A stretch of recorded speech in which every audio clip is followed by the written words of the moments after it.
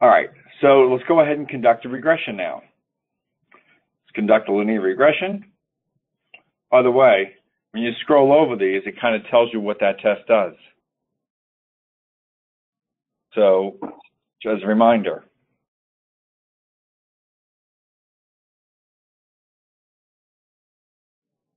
Here's our DV distance. Let's use time as a predictor. Okay. Um, and let's just put gender as a predictor. Hit calculate. Okay, here we are. We have the introduction, that gender and time, uh, that's the question, if gender and time significantly predicted distance. There's a few assumptions. One of those assumptions is normality. And we really mm -hmm. did it in two ways. One was the so it preloads the assumptions, is what's happening here. You can see that the Shapiro-Wilks uh, and the QQ plot with the two ways of assessing it, the Shapiro-Wilks was not significant. This indicates that the assumption of normality was met. So the other way to look at it is with the QQ scatter plot, and basically you want these dots to be close to the line. The next assumption is homoscedasticity.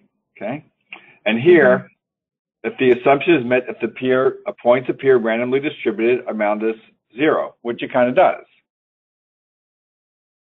The third assumption is that these two variables are not highly correlated.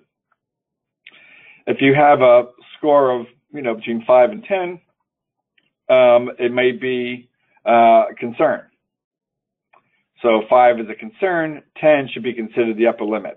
So I'd say, mm-hmm. well, close to five, let it be. Next, look for outliers. Are any of these outliers above the 3.0? And none of them are. So, so far, I would say overall, the assumptions are met here. Okay. Then we get into the results. The results of the linear regression were significant. Here's the model fit. Here's the p-value, and here's the r-square, indicating 99% of the variance in distance is explainable by gender and time. Okay. The female category of gender did not significantly predict distance. Based on this sample, this suggests that moving from male to female category does not have a significant effect on the mean of distance. Time significantly did predict distance. This indicates on average, every time you increase time by one unit, and it was measured in minutes, uh, will decrease, um, well, excuse me, will increase the amount of value of distance by 0.1 units, and that was measured in miles.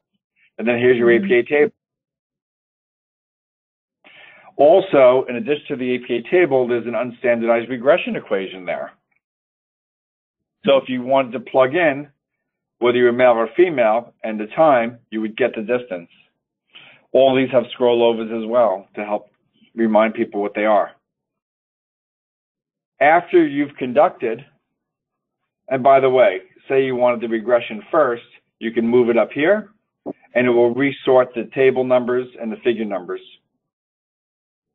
Then we simply, I'll just put that back just for the heck of it, then we simply download the document click on download or upload that. After moving on over. So what you get in the document is the analyses. Let me just open this up a little bit bigger. What you get with the analyses that were included. For each of those three analyses, we then have a glossary of terms and symbols. So we did hmm. descriptives, this is what descriptives are. And here are the terms in it. Here's the Pearson wow. correlation. This is what it is. And here's some of the terms in that. Mm-hmm. For the linear regression, this is what that is. And here are some of the terms in that. Then we have your basic raw output. This is the current state of the art of SPSS, SAS, and Minitab. Okay, so we also give you that raw output. One thing to note, though, would be that it would not be automatically giving you some of the assumptions. So this is automated to be put in there. And so scroll on down. So then we get to the heart of this thing, which is basically what we just looked out in the output viewer, okay? Except Mhm. now we have it in a Word document. This Word Mhm. document is editable. So now you have your draft, now you can edit your document. APA tables, this is your descriptives with your APA table. This is your correlation with your Mhm. plot and your APA table. And this Mhm. is your regression with your assumptions and the results Okay. and the 8K table, then your references that everything that was referenced